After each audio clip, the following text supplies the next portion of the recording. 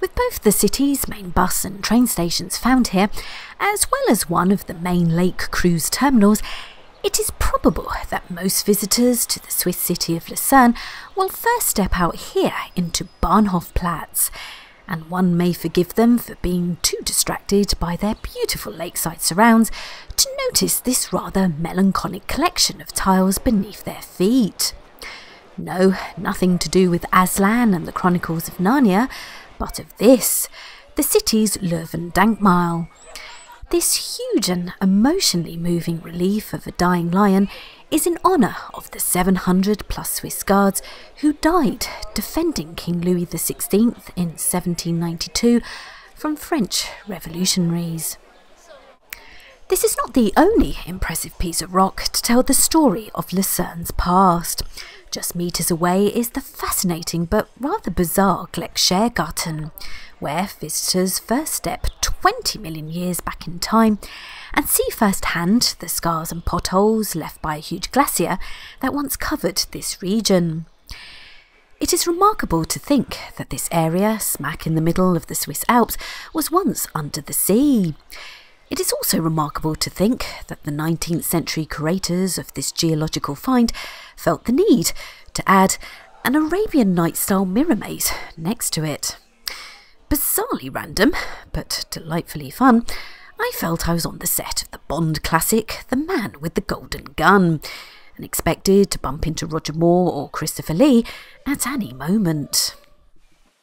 Once visitors have finally found their way out of it, this unique sense of humour that Swiss geologists appear to have to this day carries on around the site. From creepy gnomes placed inside the odd crevice to the need to a hawk on the end of this viewfinder.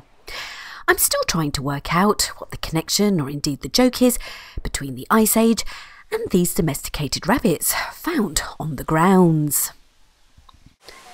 Lucerne is probably best known for its picturesque lake and the fabulous sights and activities available around it.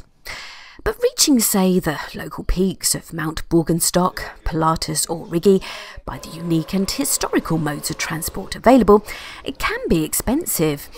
Very expensive. But there is a way to indulge in historical mechanisation to transport one to a lofty height and enjoy panoramic views of the lake without breaking the bank.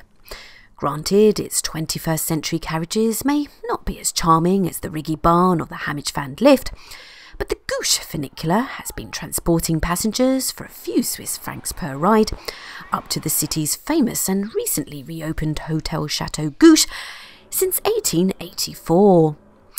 One is not obliged to stay at the hotel to use the funicular, although it is probably polite not to linger too long in the courtyard enjoying the views, if not staying to at least enjoy a drink from the hotel bar.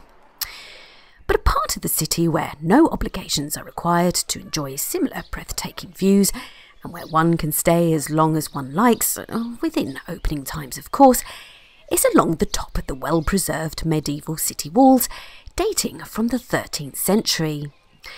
These historic fortifications include nine stone towers, still intact, and of which three are open to the public, both to explore and capture that panoramic view beyond.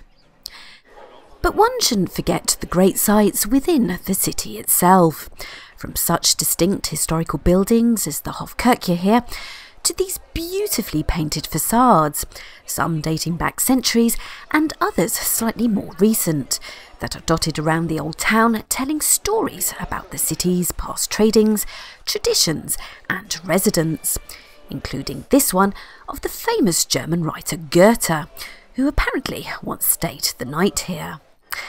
And then there is the city's iconic Kapellbrücke, this stunning wooden bridge, dating back in parts to the 14th century, is famous for these 17th century painted roof panels, depicting significant events in Swiss history and mythology. Once lining the full 205 metre length of the diagonal bridge, Sadly, only 30 of these panels now survive. After a major fire in 1993 nearly destroyed them all and the bridge itself. A little further down the River Reuss is another and similar medieval bridge, the Spreuerbrücke.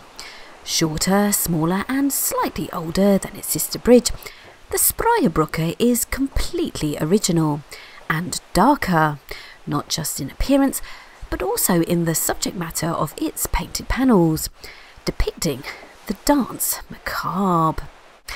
Cue the music that postdates these paintings by 200 years.